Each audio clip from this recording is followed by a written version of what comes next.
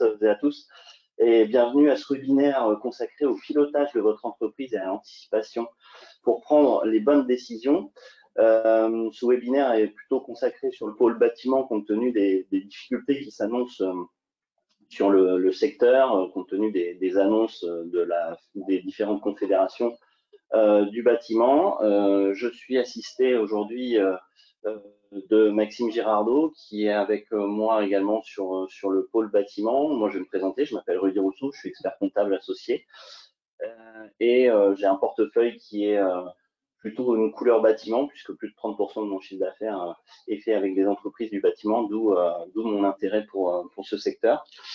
Bonjour à tous, donc moi Maxime Girardot, je suis sur le site d'Orcom Orléans, je copilote le, partenariat avec la FFB du Loiret. Et tout comme Rudy, j'ai une prédominance dans les clients que je suis sur le secteur du bâtiment, avec quand même une particularité où dans mon cas c'est plutôt orienté TPE, euh, avec des entreprises de moins de 10, voire 20 salariés, euh, mais pas plus. Eh écoutez, on va vous présenter le, sommaire de, ce webinaire, donc euh, d'une durée normalement d'une heure. N'hésitez pas à poser vos questions sur le, sur le chat. On essaiera d'y répondre en fin de, en fin de présentation. donc, on, on, va commencer par vous faire une petite présentation d'Orcom. Et puis, on, a divisé notre intervention sur trois grandes parties. La situation intermédiaire, ou euh, autrement appelée arrêté comptable, l'atterrissage de fin d'année, et ainsi que le tableau de bord. Alors, la présentation euh, d'Orcom, donc euh, aujourd'hui, Orcom est, un cabinet composé de 1400 collaborateurs, 80 associés sur 50 sites en France et une dizaine de sites également à l'étranger, à l'international. Nous avons 24 euh, 000 euh, clients aujourd'hui et euh, nous réalisons un chiffre d'affaires de 140 millions. Nos implantations, nos différentes implantations en France avec nos, nos, nos six marques. Euh, donc Orcom, hein, qui est notre marque euh, expertise comptable, audit et conseil, avec euh, nos, nos, différents sites que vous pouvez voir sur la carte en couleur bleue. Actiforce, qui est notre conseil en ressources humaines, présent également sur de nombreux sites en France.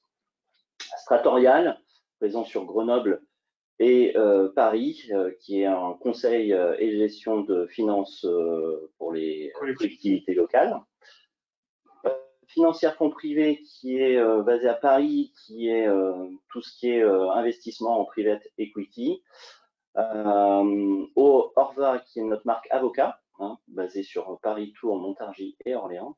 Et enfin, H3P, euh, qui est notre marque pour l'accompagnement euh, dans la structuration de gestion euh, pour tous les projets à l'aide d'une expertise pluridisciplinaire.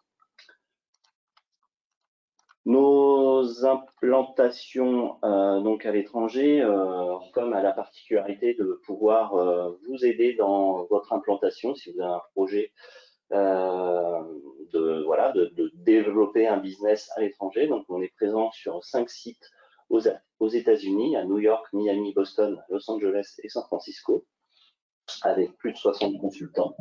Euh, nous, sommes, également présents en Angleterre avec 30 euh, consultants à Londres.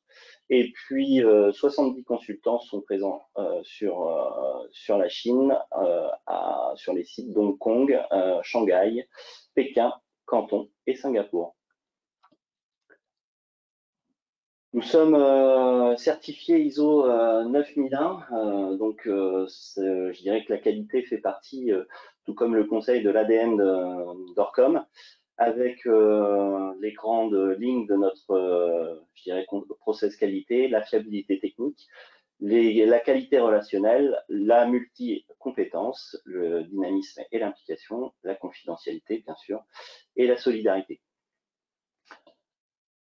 Nous avons euh, une offre de service qu'on appelle offre de service 360 degrés. Pourquoi 360 degrés? Puisqu'elle entoure le chef d'entreprise pour l'ensemble de ses besoins avec euh, cette roue donc divisée en plusieurs euh, grands pôles la partie conseil et expertise comptable, évidemment, qui est le cœur de notre métier, l'audit et commissariat au compte, La partie RSE avec la responsabilité sociétale des entreprises, donc avec la possibilité de faire des, différentes diags et une offre RSE qu'on vient de lancer.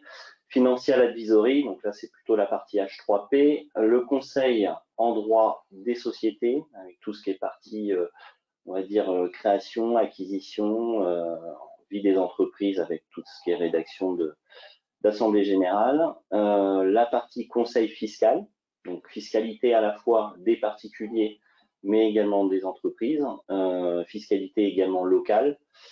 Euh, et puis avec notre, nos implantations à, l'international, la, partie fiscalité internationale évidemment. Avocat et défense, donc là avec notre marque Orva, avec des spécialités dans le droit social, dans le droit commercial, dans le droit fiscal et le droit des sociétés évidemment. La gestion de patrimoine et gestion privée, avec euh, le choix et statut du dirigeant, la fiscalité personnelle, les bilans retraite, euh, gestion euh, patrimoniale et puis la particularité private equity avec fonds privés qui nous a rejoint dernièrement. La paye, évidemment, hein, avec le, conseil en droit social. Et puis enfin, tout ce qui est conseil en ressources humaines avec notre marque ActiveForce. Merci Rudy pour euh, cette présentation d'Orcom. Euh, donc on va passer au deuxième chapitre de, cette présentation. On va commencer par euh, définir ce qu'est une situation intermédiaire. donc on vous a mis la définition sur le support. Hein. C'est une photographie qui est réalisée en cours d'année sur la situation de l'entreprise. Donc finalement, en fait, c'est un arrêté de compte qu'on réalise eh bien, en plein milieu de l'exercice. Si par exemple vous clôturez euh, vos comptes au 31 décembre, ben, vous pouvez très bien établir une situation intermédiaire au 30 juin. Euh, donc, ce n'est pas forcément une règle qui est, est clairement définie. Hein. Il n'y a, pas de règle par rapport à ça. C'est vraiment la volonté du dirigeant d'entreprise. Euh, mais c'est vrai qu'il est quand même conseillé de réaliser à minima une situation intermédiaire par an pour pouvoir s'assurer en cours d'année que bah, finalement les résultats de l'entreprise bah, sont en conformité avec euh, l'idée que peut se faire le, dirigeant. Euh, lorsqu'on réalise bah, cette euh, situation intermédiaire, hein, on utilise les mêmes règles que celles qui sont utilisées lors de l'établissement des comptes annuels, hein, à savoir notamment dans le bâtiment, bah, la valorisation des stocks et puis des encours de production au niveau des chantiers, hein, afin de constater quand même en, comptabilité les provisions qui, euh, qui, sont nécessaires pour avoir une, une vraie vision économique de, euh, du résultat de l'entreprise. Euh, toutefois, et c'est quand même important de le souligner, cet arrêté est moins contraignant qu'un arrêté de compte pour la clôture de l'exercice, dans la mesure où ces comptes intermédiaires ne feront ni l'objet d'un dépôt auprès du greffe du tribunal, si vous exercez sous forme de société commerciale, ni auprès de l'administration fiscale. Hein, lors d'une situation intermédiaire, il n'y a pas d'envoi de l'IAS auprès de l'administration fiscale. Celle-ci, elle peut être destinée pour le dirigeant, pour savoir où il en est, se rassurer et se projeter, on le verra par la suite, euh, mais elle peut aussi servir dans le cadre de, de demande de financement pour, pour rassurer euh, comment le, banquier, le financeur pour l'obtention d'un éventuel crédit. Pour le rassurer ou pour éventuellement avoir un, un financement par rapport à un nouveau projet d'investissement, quoi que ce soit effectivement d'identifier euh, certains besoins. Alors, pourquoi, à notre sens, c'est important de, songer à réaliser une situation intermédiaire? On est quand même aujourd'hui dans un monde où euh, bah, les prix euh, fluctuent beaucoup, même si c'est un peu moins vrai ces dernières semaines, ces derniers mois, mais vous l'avez quand même connu dans le domaine du, bâtiment, hein, lorsque les prix d'achat variaient de façon significative d'un mois sur l'autre, c'est quand même important de savoir euh, où est-ce qu'on en est. Hein, donc la situation, je le répète parce que c'est important, elle permet de faire l'état des lieux économiques et financiers de l'entreprise. Quand il y a euh, une conjoncture qui n'est pas favorable, comme ça peut, être le cas aujourd'hui, notamment dans euh, les activités de construction, bah, ça permet de chiffrer les conséquences d'un ralentissement économique sur l'activité de l'entreprise et de mesurer les impacts de cette, de cette conjoncture.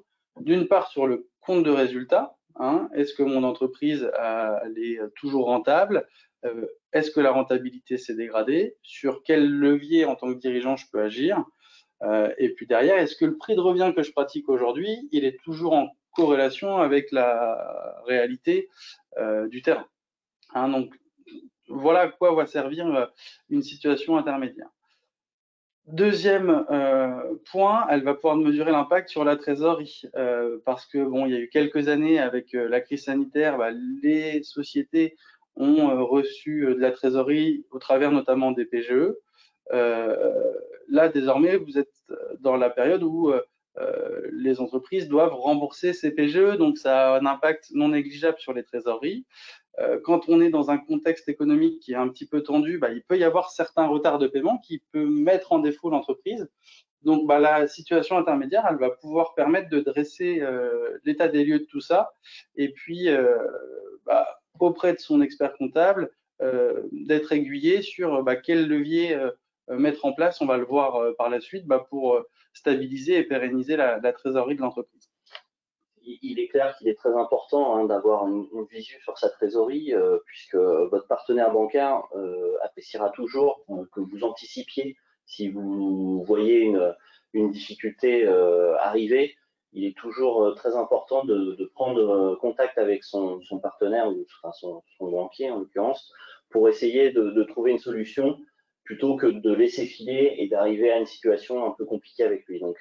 Toujours le fait de bien voir que vous pilotez votre entreprise et que vous anticipez permet euh, d'avoir une relation bien plus, euh, on va dire, euh, calme avec son banquier, en tout cas de trouver une solution et, il sera plus à même à vous accompagner pour, pour trouver justement un, nouveau financement.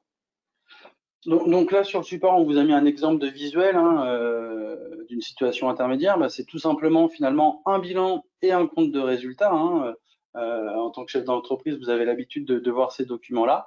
Euh, la situation intermédiaire, bah, c'est euh, les tableaux de, compte de résultats et de bilan que vous avez l'habitude de voir. Et donc là, on vous en projette un exemple. Pour conclure sur bah, cette première étape de situation intermédiaire, on peut dire qu'elle bah, permet de faire l'état des lieux de l'entreprise après la période de ralentissement économique. Elle permet aux dirigeants de prendre des décisions pour piloter son entreprise, quelles euh, mesures je vais mettre en place dans euh, ma société. Et elle permet également euh, de préparer l'avenir. si par exemple vous arrêtez vos comptes au 31 mars et que vous avez établi une situation en date du 30 septembre, bah, vous pouvez compléter cette, cette situation intermédiaire pardon, d'un atterrissage qui va vous permettre de vous projeter à la date de clôture et c'est euh, ce sur quoi on va venir dès à présent. Merci du coup Maxime pour cette euh, introduction. Euh, alors l'atterrissage de fin d'année, qu'est-ce que c'est?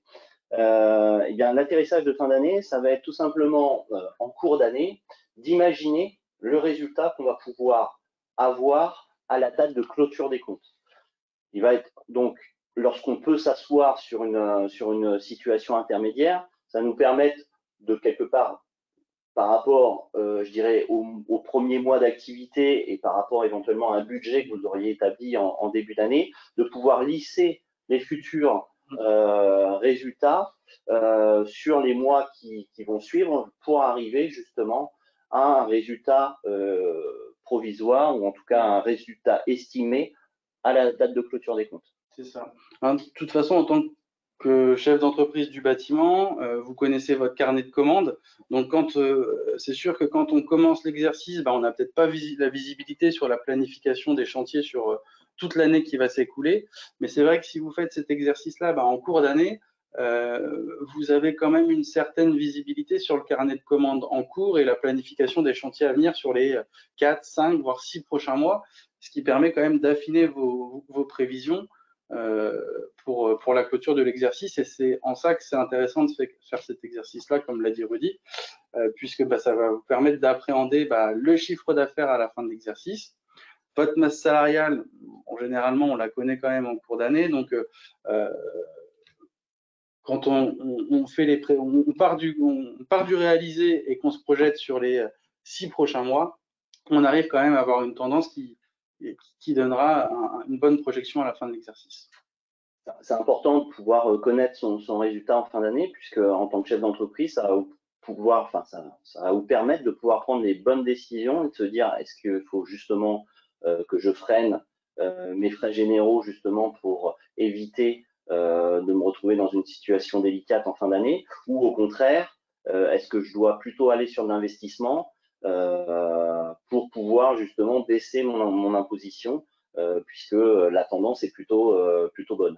Donc, euh, l'atterrissage va être en soi un moyen de pouvoir, je dirais, regarder en avant la, problématique entre guillemets quand on fait, quand vous présente les comptes à un rendez-vous bilan, c'est qu'on vous, vous présente des comptes qui sont arrêtés et on regarde dans le rétroviseur. Là, c'est de se dire, voilà, je regarde en avant et ça me permet de prendre encore les bonnes, ou en tout cas des décisions qui vont avoir un impact sur mon résultat futur en fonction euh, soit de, souhaits euh, euh de, fiscalité et d'optimiser son, son résultat en fonction, des décisions que vous allez prendre, mais également peut-être par rapport à un projet d'investissement, se dire oui, il faut vraiment que j'aille sur, un résultat assez important pour pouvoir euh, bah, je dirais, euh, m'attirer la sympathie euh, de mon banquier pour pouvoir investir sur, sur, sur mon nouveau projet.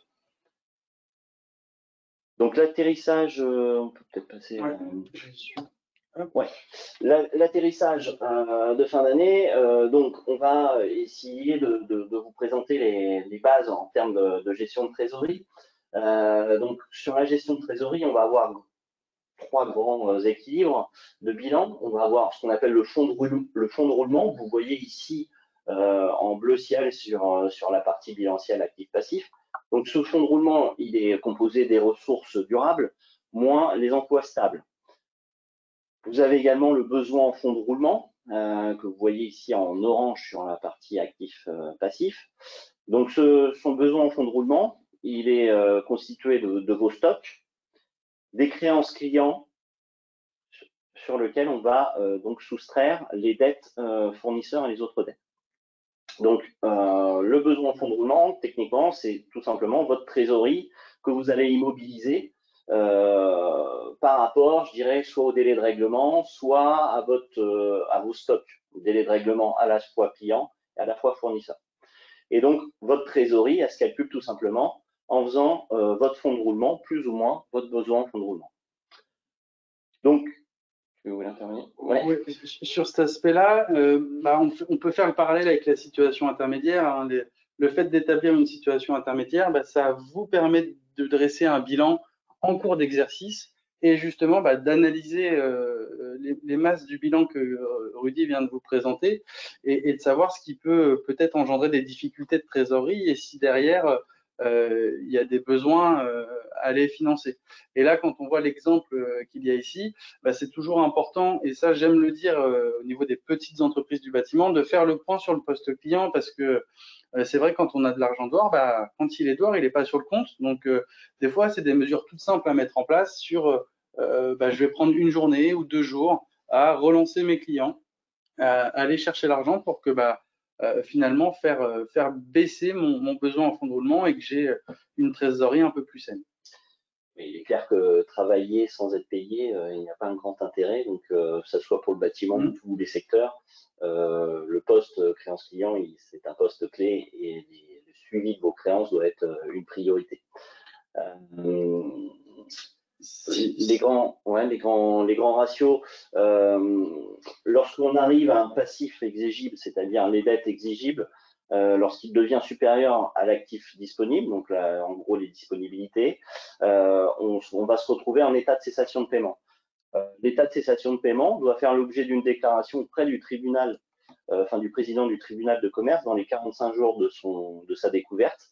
Et donc derrière, le, le président du tribunal va prendre la décision soit de, de placer euh, l'entreprise en redressement judiciaire avec un plan de continuation euh, ou euh, directement la liquidation judiciaire. Donc forcément, c'est pour ça qu'il faut bien anticiper et bien piloter son entreprise. Donc avant d'arriver dans des situations extrêmes comme celle-ci, bien suivre ses créances clients, ne pas payer ses fournisseurs non plus avant les dates d'échéance, hein, bien gérer cette partie-là et éviter de, de surstocker Hein, euh, puisque un stock qui ne tourne pas, c'est quelque part de la trésorerie que vous immobilisez et que vous avez, euh, et, d'autant plus si on a un stock qui se dégrade et qui peut se dégrader, là on a carrément de la perte de valeur. L'atterrissage de fin d'année, donc les raisons qui peuvent euh, créer des tensions de trésorerie, eh bien on, vient de, on vient de vous, en parler un peu. La rentabilité également est fait partie de, de ces de ces, euh, de ces explications. Oui, merci. Euh, donc une rentabilité trop faible. Alors d'où euh, d'où peut venir ce problème de rentabilité? On a connu là ces derniers temps et sur le coût des matières premières une augmentation des prix assez importante. Bah, si vous, en tant que chef d'entreprise, vous ne répercutez pas cette augmentation des prix sur vos devis et sur vos, prochaines factures, bah forcément votre marge va s'écraser et votre rentabilité va euh, forcément en pâtir. Et donc, euh, tout ça a un incidence sur votre capacité d'autofinancement. Donc, qu'est-ce que votre capacité d'autofinancement? C'est tout simplement votre résultat de fin d'année plus vos amortissements, hein, pour faire clair. Euh, et donc, c'est un ratio qui est regardé par les banquiers pour justement vous octroyer euh, c'est votre capacité à faire face à un remboursement d'emprunt. Donc, c'est ce genre de ratio que regardent euh, les banquiers pour pouvoir vous octroyer un, prêt par rapport à un nouvel investissement. Euh, une rentabilité insuffisante peut être causée par différentes choses. Donc, je vous ai parlé de l'augmentation des prix des matières premières sans répercussion sur le prix de vente. Euh, donc c'est ce qu'on peut appeler les, charges trop élevées euh, par rapport à, l'entreprise. Un prix insuffisant, c'est qu'on n'a pas euh, fait le nécessaire pour augmenter nos prix par rapport, je dirais, à nos achats de matières premières. Et puis ça peut être également une stratégie marketing inadaptée pour atteindre, pour atteindre un nombre de clients suffisant ou encore une offre trop peu diversifiée pour satisfaire sa clientèle. Donc savoir aussi proposer une offre de service plus ample par rapport à, l'offre de service initiale pour pouvoir euh, aller sur de nouveaux marchés et puis s'ouvrir euh, des portes de, de euh, d'une nouvelle clientèle. Et, c'est là que c'est important de faire le lien avec la situation et l'atterrissage de fin d'année, parce que en vous projetant à la fin de l'exercice, bah, vous, pourrez mesurer si le prix de revient que vous pratiquez actuellement, il est toujours en corrélation avec votre projection et d'ajuster le tir le cas échéant. Hein, si aujourd'hui, bah, je facture, admettons, 50 euros de l'heure mais que euh, entre-temps, j'ai euh, euh, un poste administratif en plus dans mon entreprise, deux nouveaux véhicules que je finance par crédit bail et que derrière, bah, j'ajuste pas ces, ces, éléments bah, sur mon prix de vente, bah, derrière, je vais avoir un souci de rentabilité au final. Donc, cette projection, elle est importante dans ce sens-là. C'est est-ce que le prix que je pratique, il est toujours bon et toujours actuel? Également, euh, les tensions peuvent venir euh, d'un problème euh, de, de, fonds de roulement insuffisant. donc le fonds de roulement, hein, ça permet de financer le cycle d'exploitation normal de l'entreprise et donc des dépenses courantes avant qu'elle perçoive les, les, paiements de la part de ses clients. Donc cette situation elle peut être dégradée pour les, les, les raisons suivantes des, des capitaux propres insuffisants, euh, donc qui peuvent venir soit bah, d'exercices antérieurs où on a accumulé des, des, déficits, euh, ça peut être une rentabilité justement insuffisante qui nous a mis dans cette situation-là. On peut avoir également une dette bancaire mal dimensionnée, pardon, donc là on va se retrouver avec en état, comme on peut appeler pour des particuliers de surendettement, c'est-à-dire qu'on a pu euh, notre capacité d'autofinancement ne nous permet plus de faire face au remboursement de nos emprunts.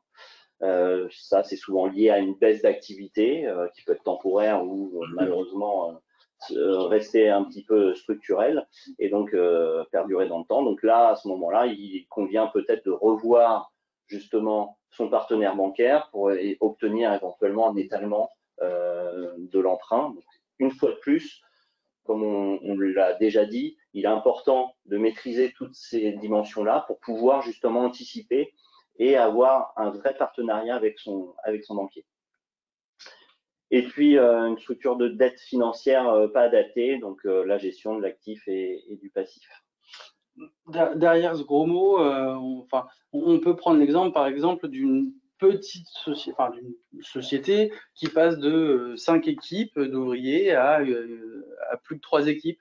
Et quand l'entreprise, elle fonctionnait avec bah, 5 équipes, elle avait peut-être 5 camions, 5 sets d'outillage, etc.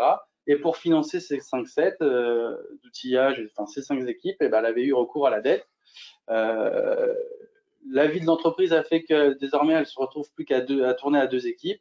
Eh bien, il y a du matériel qui reste euh, bah, au dépôt. Bah, si derrière bah, l'entreprise il y a une baisse d'activité, bah, elle va continuer à payer soit les leasings, soit les remboursements d'emprunt et ça va venir impacter sa trésorerie. Donc, euh, à ce moment-là, il faut prendre un peu de recul et puis euh, se séparer de son, son matériel qui, qui n'est pas utile, bah, de sorte à, laisser un peu de souffle à la, à la trésorerie de l'entreprise.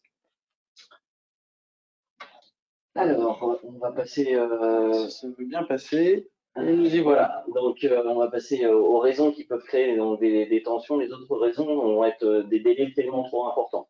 Alors, dans, dans, le secteur du bâtiment, on a tendance à, à marcher avec des, des acomptes.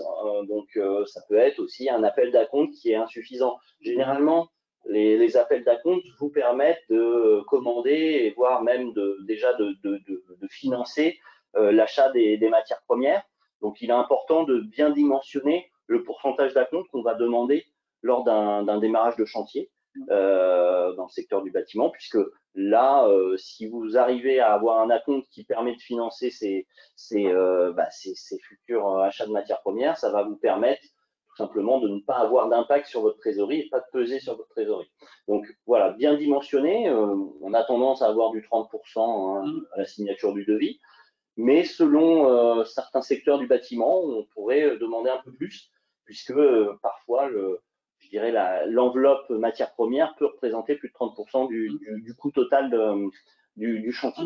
Et puis même euh, certains artisans, moi je l'ai déjà vécu, enfin en échangeant avec euh, euh des, des, chefs d'entreprise, euh, il y en a certains qui travaillent avec des particuliers, des fois ils n'osent pas forcément de demander d'acompte par la peur de gêner le, euh, client en particulier. Et euh, bah, quand on se met à avancer euh, des matériaux pour plusieurs chantiers, bah, c'est sûr que ça va avoir un impact sur la trésorerie de l'entreprise. Donc, c'est une pratique qui est courante et il ne faut pas avoir honte à le faire. Après, autre élément aussi souvent que, que je vois, c'est quand on, a sur, on attaque des chantiers d'un volume assez important, euh, on ne négocie pas euh, systématiquement avec son client de pouvoir établir des factures de situation en fin de mois. Donc là aussi, bah, ça va générer des, décalages de trésorerie importants. Euh, donc ça, bah, c'est bien d'y penser au moment de, la négociation du, marché et du chantier pour bah, euh, comment euh,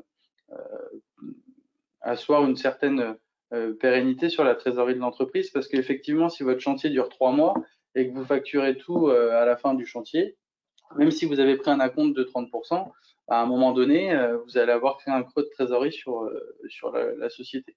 Donc pensez-y. Donc des, délais de paiement euh, trop importants pour, pour les clients, mais également ce qu'il faut aussi suivre, c'est nos délais de paiement fournisseurs.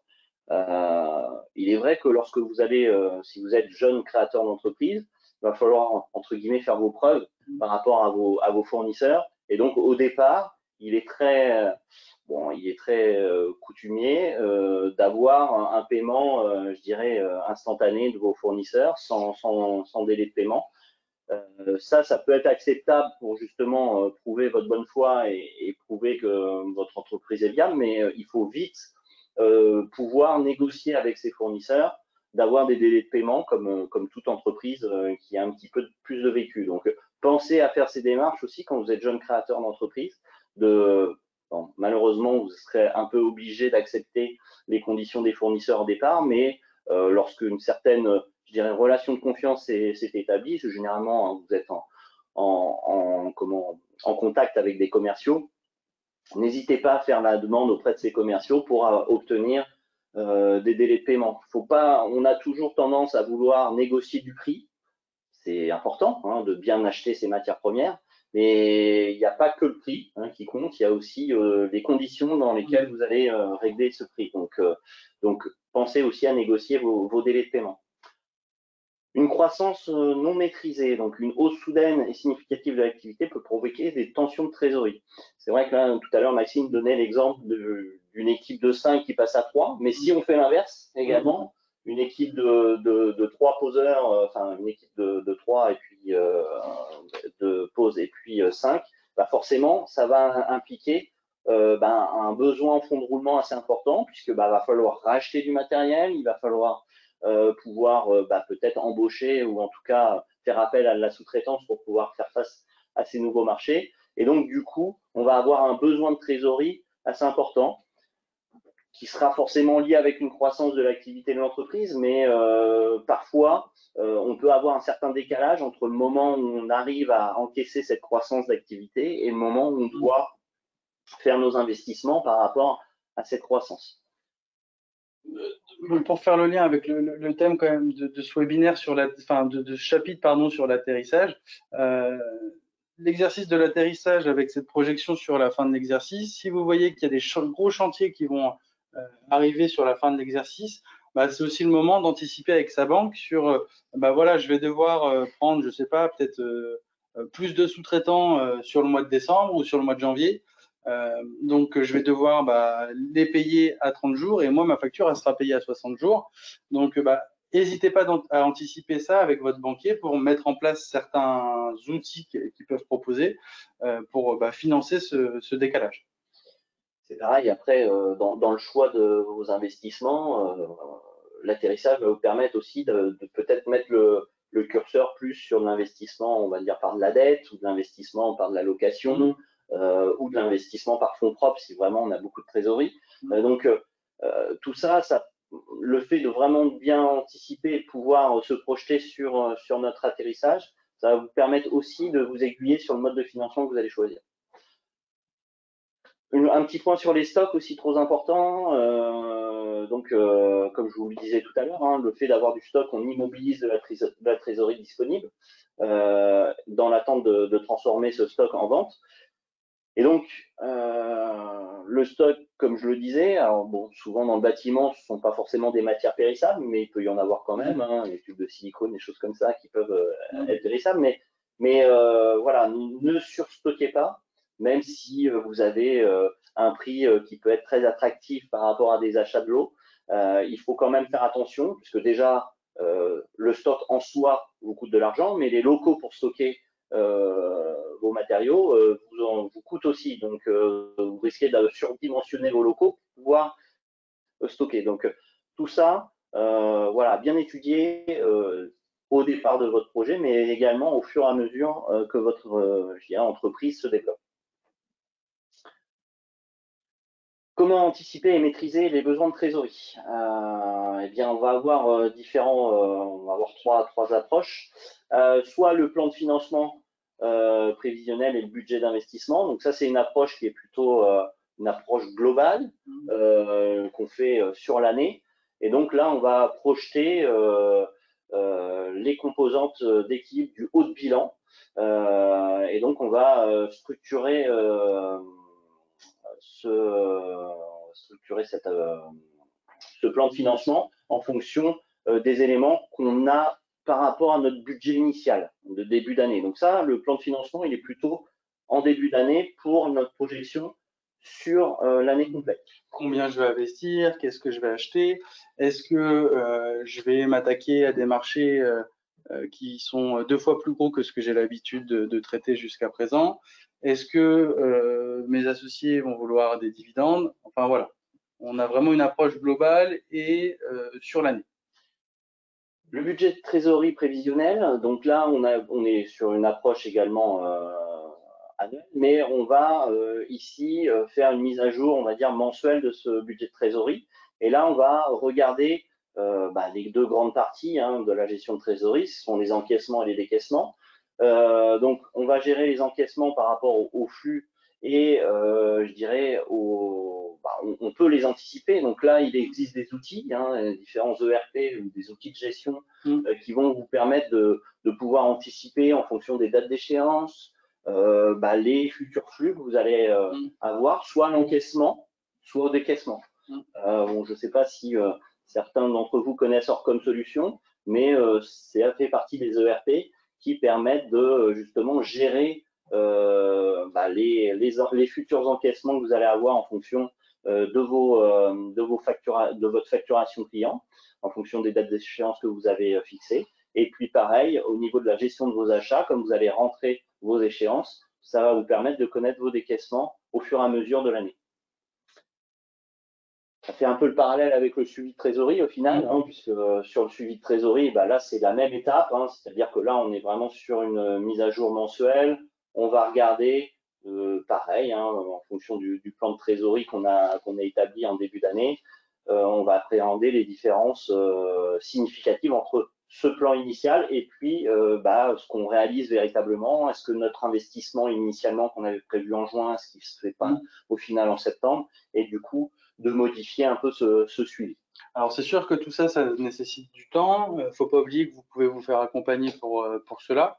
Euh, et, c'est quand même important de, de, de, travailler sur ce sujet-là parce que ça permet de prendre du recul et puis peut-être de revoir euh, certains points euh, stratégiques pour l'entreprise sur sa politique commerciale, par exemple, euh, sur, sur le choix de, de travailler avec bah, certains acteurs, puisque bah, est-ce que je travaille avec les collectivités euh, si, euh, comment dans mon chiffre d'affaires, j'ai plutôt traditionnellement euh, l'habitude de, faire du particulier? Est-ce que là, j'ai eu un chantier avec la collectivité? Est-ce que le fait que les délais de règlement s'allongent, bah, c'est tenable pour mon entreprise? Voilà, tout ce travail-là, il va vous permettre de prendre du recul par rapport à tout ça et de pouvoir bah, vous aiguiller dans vos décisions de chef d'entreprise. Du coup, euh, l'atterrissage, euh, une fois que vous l'avez fait en cours d'année, il faut l'analyser. Est-ce que euh, j'ai été bon sur l'atterrissage que j'ai pu effectuer? Donc, on va, analyser cet atterrissage par rapport à la véritable clôture des comptes annuels. Et donc, on va regarder d'où proviennent ces écarts. Alors, ils peuvent venir de bah, de différentes choses. Ça peut être un élément exceptionnel qu'on ne pouvait pas anticiper au moment où on a fait l'atterrissage euh, un décalage de chantier, un salarié qui tombe malade, on doit faire appel à de la sous-traitance pour, euh, pour, pouvoir euh, faire notre, notre chantier malgré tout. Et, donc, le fait d'analyser ces écarts, ça va nous permettre, de, comme indiqué sur cette slide, de mettre le doigt sur des, des éventuels dysfonctionnements. Donc, il peut y avoir des écarts qui sont tout à fait naturels, euh, du fait voilà d'événements exceptionnels, mais il peut avoir aussi des écarts par rapport, euh, je dirais, à un mauvais suivi de budget ou euh, ou un, un poste, je sais pas, par exemple le poste de, de, matière première qui va exploser parce qu'on avait on a eu une augmentation de nos tarifs chez nos fournisseurs qu'on n'avait pas forcément anticipé. Donc là, ça nous permet de nous mettre en alerte et de se dire eh oui effectivement j'avais pas anticipé mais est-ce que je l'ai bien répercuté sur mes prix de vente par exemple? Euh, et donc le fait d'analyser ces écarts ça va vous permettre sur l'année d'après justement si ça provient de faits exceptionnels vous ne pourrez rien faire mais si ça vient justement d'un mauvais calcul de votre atterrissage initial bah, de vous améliorer d'être le plus près possible au final de votre de vos de votre arrêté comptable en fin d'année de la clôture de vos comptes et donc d'avoir une information financière de plus en plus fiable. On va du coup passer au, tableau de bord. Je voulais te faire ton, ton introduction, Maxime. Euh, donc euh, le tableau de bord est un autre, euh, je dirais un autre outil qui vous permettra justement d'améliorer votre pilotage. Et, pour moi, le tableau de bord, il vient en complément de la situation intermédiaire et de l'atterrissage. Hein. La situation intermédiaire, on peut en faire une, on peut aussi en faire trois hein, chaque trimestre. Euh, et l'atterrissage, on peut, le faire également euh, à chaque trimestre en même temps que la situation. Euh, tandis que le tableau de bord, là, on est plus sur un outil qui est mensuel, qui va permettre en fait de pouvoir mesurer des performances, d'anticiper les difficultés et mettre en œuvre des mesures correctives de façon très rapide. Alors, moi, j'aime bien dire que le tableau de bord, c'est un outil indispensable. Euh, et on va voir pourquoi juste dès maintenant, pardon. Euh, puisque, en fait, le tableau de bord, c'est finalement un outil qui va pouvoir mettre en avant les chiffres clés de l'activité euh, de façon simple, des indicateurs que vous avez sélectionnés pour vous, pour votre entreprise, avoir des approches de résultats mensuels. Est-ce que entre ma prévision de début d'année et ce que j'ai réalisé bah, au cours du mois d'octobre, est-ce que ça tient la route? Et si oui, tant mieux. Et sinon, pourquoi? Quels sont les écarts? Et donc, bah, l'adage qu'il faut retenir et que j'aime bien répéter auprès des, jeunes chefs d'entreprise de bâtiment, c'est que en matière de gestion, mieux vaut des chiffres fiables rapidement plutôt que des chiffres précis lentement et coûteux à obtenir. Ce que on entend par là, c'est que finalement, le tableau de bord, ça sert à rien que vous ayez votre tableau de bord euh, du mois d'octobre euh, le 15 décembre. Idéalement, il faudrait l'avoir pour le 10, euh, 15 novembre au plus tard. des chiffres clés, vous pouvez en avoir très facilement dans votre entreprise, votre chiffre d'affaires, la position de votre compte bancaire. dans les entreprises de bâtiment, ce qui est important, c'est de faire des, de faire des analyses par ratio. avec la paye de vos salariés, vous faites des ratios tout simples, euh, salaire et cotisation sociale du mois divisé par chiffre d'affaires. Est-ce que je suis en corrélation avec la moyenne que euh, je fais traditionnellement? Et tout de suite d'avoir des alertes euh, par rapport au volume d'activité que vous traitez et au niveau de votre rentabilité. Et si vous voyez que vos ratios, bah, de mois en mois, ils se dégradent et que ça tire vers le bas, bah, tout de suite, ça vous permet de, se dire, bah, il y a peut-être un problème avec les prix que je pratique ou euh, est-ce que les chantiers que je chiffre, euh, je les chiffre justement au niveau du temps passé hein, Donc le tableau de bord, voilà, ça va être un, document, alors que euh, on vous montrera un exemple que nous on, est en capacité de, faire, mais vous pouvez aussi avoir vos propres tableaux de bord sur des tableaux Excel tout simples avec bah, le suivi de, quelques indicateurs, hein, chiffre d'affaires, montant total des achats de matériaux, montant de vos frais généraux et des charges de personnel et en suivant bah, déjà ces trois premiers euh, ratios, euh, tous les mois, bah, ça va vous permettre de, euh, savoir si bah, l'entreprise fonctionne plutôt correctement. Il est vrai que, enfin, je voulais faire un focus sur un point, les, indicateurs que vous allez sélectionner, il ne faut pas les prendre à la légère. Ce sont des indicateurs qui sont vraiment personnels à l'entreprise. même dans un secteur bâtiment, certains vont, euh, comme le disait Maxime, euh, regarder leur masse salariale, parce qu'elle peut, par rapport à leur chiffre d'affaires, mais certaines vont plutôt justement regarder la, sous-traitance, parce mmh. qu'elles vont avoir à fond appel à la sous-traitance pour justement pallier à, je dirais, à une, masse salariale qui reste stable. Euh, donc il faut euh, vraiment bien les choisir, prendre le temps de les choisir. Donc souvent faites-vous accompagner de votre expert comptable ou enfin, votre, votre conseil euh, pour justement bien les sélectionner, vraiment où vous voulez mettre l'accent sur, je dirais, sur votre pilotage et quels sont vraiment les, les points cruciaux pour, pour prendre les bonnes décisions par rapport à votre entreprise. En termes d'indicateurs, euh, donc euh, bon, l'indicateur c'est euh, ce que vous allez suivre hein, au fil des mois.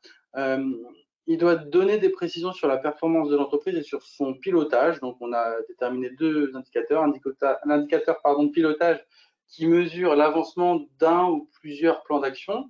par exemple, le chiffre d'affaires cumulé, ça peut être quelque chose d'important par rapport à la stratégie que, que le chef d'entreprise a, a choisi pour, euh, pour son entreprise et de savoir où est-ce qu'il en est euh, de son avancement dans l'année. Si par exemple je prévois de réaliser 500 000 euros de chiffre d'affaires pour l'année de 2024 euh, et que dans mon prévisionnel je m'étais dit que au 31 août je devais en être à 300 000, est-ce que j'y suis hein? Donc là on parle d'indicateur de pilotage. Euh, alors que l'indicateur de performance, comme son nom l'indique, il va mesurer le niveau de performance atteint par l'entreprise par rapport aux objectifs fixés. Exemple, euh, je veux que mon taux de sous-traitance sur chiffre d'affaires, ça soit pas plus de 10%, c'est-à-dire que sur les travaux que je vends à mes clients, je veux pas que la part que je donne à mes sous-traitants dépasse 10% du chiffre d'affaires. Et donc ce ratio, bah, si vous le suivez tous les mois et qu'il est bah, inférieur à ce ratio-là, bah, vous avez atteint votre objectif. Euh, on a peut-être passé la slide, mais en fait, on a souvent tendance à dire, est-ce qu'on a déjà conduit une voiture sans, tableau de bord euh, eh Bien, une entreprise, hein, c'est la même chose. C'est-à-dire que si vous n'avez pas de cadran et bah, il est difficile de, bien la piloter, de l'emmener euh, là où on veut. Donc, euh, eh ben, bien, bien sélectionner ces, cadrans. Hein, je sais pas, on, ne regarde pas tous les mêmes cadrans quand on conduit sa voiture. Eh ben, c'est pareil pour une entreprise. Mettez vraiment le focus sur les, les les, indicateurs qui vous servent à la gestion de votre entreprise et, je dirais le pari sera gagné pour la mise en place de votre tableau de bord. Donc là, on vous a mis sur le support quelques exemples d'indicateurs simples pour les petites entreprises qui peuvent être utilisés et qui ne nécessitent pas forcément un travail significatif pour le dirigeant. Le chiffre d'affaires, la marge de production ou le résultat mensuel approché. Alors là, pour les euh, entreprises qui sont accompagnées de leur expert comptable pour euh, la tenue de leur comptabilité, bah, c'est des indicateurs qui peuvent être euh, fournis puisque la comptabilité est mise à jour mensuellement. La masse salariale, à l'aide des données de paye qui sont disponibles tous les mois, le solde de trésorerie, elle du client. Alors ça, c'est des indicateurs vraiment très simples, chiffre d'affaires, masse salariale, solde de trésorerie et du client, que vous pouvez obtenir, je pense, très rapidement comme, disait tout à l'heure Maxime, euh, il vaut mieux des indicateurs fiables rapidement que euh, des indicateurs où on va mettre un temps fou à, les obtenir. Et du coup, le but d'avoir un tableau de bord, c'est de pouvoir le sortir quelques jours après, euh, je dirais, la date où vous avez décidé. Si vous avez décidé le 15, c'est sûr qu'il faut que le 20, le tableau de bord, il soit sur le bureau du dirigeant. Si vous sortez un tableau de bord un mois après, clairement, on, on perd tout son, tout son intérêt. Et après, pour aller plus loin, euh, si votre entreprise elle est structurée, que vous avez peut-être euh, un ou une assistante de gestion en interne, bah, vous pouvez établir différents euh, types de tableaux de bord. Un tableau de bord opérationnel qui va permettre d'identifier le niveau de mise en œuvre des plans d'action et de mesurer l'atteinte des objectifs fixés en début d'année. Hein, est-ce que je suis dans mon prévisionnel? Euh, Un tableau de bord budgétaire qui va permettre d'identifier les écarts entre ce que j'ai prévu et ce que j'ai réalisé. Et un tableau de bord stratégique pour savoir si euh, comment la stratégie que je déployais est efficace. Hein, est-ce que j'atteins l'objectif que je me suis fixé Sur le choix des indicateurs, on n'a fait que de le répéter. Euh, c'est la première ligne de cette slide-là facilement accessible, fiable et obtenu rapidement. Je pense que c'est ce qui est le plus important pour un chef d'entreprise. Avoir son tableau de bord, je le répète, le 15 décembre au 31 octobre, ça sert à rien. Pour être pertinent, les indicateurs, doivent être délivrés avec des informations euh, clés et simples à comprendre. Bien sûr, il faut que le document soit lisible. Hein. Il ne faut pas euh, que ce soit une usine à gaz pour le comprendre et le déchiffrer. Euh, il faut les adapter à votre entreprise et c'est en ça que euh, bah, l'échange avec votre expert comptable ou votre conseil est important pour pouvoir bien les identifier et bien les mettre en œuvre. Euh, comment, par rapport au contexte actuel, ça c'est important, bah, bien aussi mettre en place des indicateurs sur la gestion de sa trésorerie. on a parlé du, client, mais ça peut être aussi le niveau d'investissement. Euh, le suivi du BFR mensuel, bon, là on commence à aller sur des choses plus complexes, mais euh, ça peut être mis en place. Euh, et puis aussi par rapport au niveau de, stock, si je, vais, vois que je vais avoir un creux de trésorerie, on est tous d'accord là-dessus que ça rien ne sert de stocker. Tout à fait. Euh, par exemple, un, indicateur montant du stock, par exemple, va être très compliqué à obtenir. Hein. Vous n'allez pas vous amuser à faire un inventaire. Euh, donc ça, c'est le genre d'indicateur qu'on ne va pas avoir. Généralement, on va prendre euh, un taux de marge pour, pour calculer en fait votre, votre rentabilité. et puis, on, va, on va partir sur une idée de stock constant. Euh, si vraiment on veut euh, valider le stock, là on, est, on, sera plus sur la situation intermédiaire euh, pour vraiment avoir quelque chose de, voilà. Mais si le, si le montant du stock est quelque chose d'assez important dans, sa structure, voilà, c'est pas un indicateur qu'on doit mettre dans notre tableau de bord parce qu'il sera trop compliqué à obtenir. Et donc pour terminer sur le tableau de bord, on vous a mis quelques présentations de, tableaux de bord que euh, on peut réaliser auprès de nos clients. Euh, donc nous, on appelle cette offre le tableau de bord flash. Euh, donc là, bah, c'est le, rendu qui, peut être fait à un client. Ou comme vous pouvez le voir, il y a le suivi de votre chiffre d'affaires réalisé mensuellement avec bah, le montant du mois et le montant cumulé depuis le début de l'exercice. On peut suivre les frais généraux hein, de la même manière pour voir euh, bah, est-ce que je suis dans les clous par rapport au budget que je me suis fixé ou non.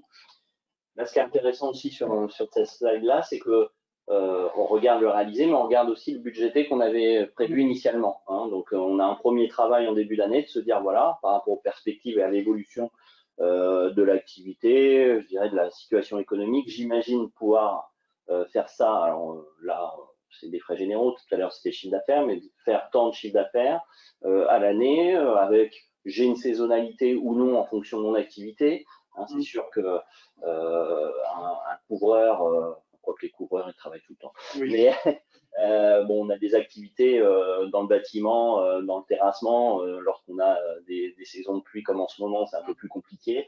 donc on, on, a des périodes un peu plus hautes que d'autres dans certaines activités, donc on va en tenir compte justement dans, dans notre tableau de bord et dans notre, notre budget, euh, on va essayer de, de, créer une vraie saisonnalité en fonction, euh, en fonction de notre activité. Et donc là, l'important, c'est de se dire, bah voilà, j'avais budgété, euh, en l'occurrence, 70 000 euros ici de, de, frais généraux pour le mois de septembre, je suis à 81 000. Et donc, on voit ici que sur le cumul de l'année, eh bien, je suis à plus 7%, quasiment 8% de frais généraux. Comment Alors, pourquoi ai-je cette augmentation? Donc, c'est là où, en fait, on met le doigt sur justement des... Euh, on, voilà, on, allume les warnings et, donc on met le doigt sur, sur ces éléments-là. Et donc, c'est là, une, fois qu'on a mis le doigt sur ces éléments-là, qu'on va aller faire nos recherches et voir comment ça se fait que ce, ce, cette, cette, situation euh, qu'on a actuellement, elle provient de quoi? Est-ce que effectivement j'ai augmenté euh, mes frais généraux, mais parce que j'ai des ce qu'on appelle des charges semi-variables qui sont en fait attachées à mon activité et que mon activité a augmenté. Si mon activité a augmenté de plus de 10%, bah, c'est peut-être tout à fait logique que j'ai une augmentation de mes frais généraux de 8%. Donc euh, voilà, c'est d'avoir une analyse et c'est aussi important qu'un tableau de bord il vous soit présenté par votre conseil. C'est-à-dire que euh, vous donner un tableau de bord, c'est une chose, mais après, il faut essayer de l'analyser ensemble. Voilà, focus sur euh, les frais de personnel et puis bah, après l'approche en termes de, euh, compte de résultats, hein, on peut l'avoir sur, sur le, tableau de bord flash qu'on vous présente. Hein, et donc pour aller plus loin, hein, ça fait partie de, bah, de notre offre de service, la réalisation de tableaux de bord. Donc on est tout à fait en mesure de pouvoir vous, accompagner sur sa mise en œuvre et puis dans le suivi au quotidien, c'est-à-dire mensuellement ou trimestriellement, euh, bah, suivant, euh, suivant les besoins de chacun. Euh, et puis après, dans certains cas, on peut aller sur du tableau de bord personnalisé à l'aide d'autres outils. Voilà. On va passer au moment des, questions-réponses. Donc n'hésitez pas, pour ceux qui n'ont pas encore notez dans le, chat euh, vos, différentes questions afin qu'on puisse vous, y répondre euh, dans les 7 minutes qui, restent sur ce, webinaire. Euh, je ne sais pas si on a déjà des questions, Maxime, non? On vous laisse peut-être quelques secondes pour, poser les questions. Poser vos questions. En tout cas, on vous remercie de votre présence et puis de votre attention. Euh, voilà, euh, c'était un plaisir de vous, présenter cette, euh, ces, quelques indicateurs et ces quelques outils qu'on peut mettre en place dans tout type d'entreprise, que ce soit de la TPE ou de la plus grosse entreprise. Hein. on, peut, on peut vous accompagner sur, sur ces différentes, différentes mises en place d'outils. si vous avez des questions qui vous viennent après, N'hésitez pas à nous les poser. Vous avez ici euh, nos, adresses mail ainsi que nos, téléphones. Euh, donc n'hésitez pas à nous contacter si vous avez euh, des questions ou si vous voulez aller plus loin sur, sur la présentation des éléments qu'on a pu vous faire aujourd'hui. Bon, bah écoutez, si personne n'a de questions, on vous remercie et on vous souhaite une, une belle soirée. Bonne fin de journée. Au revoir.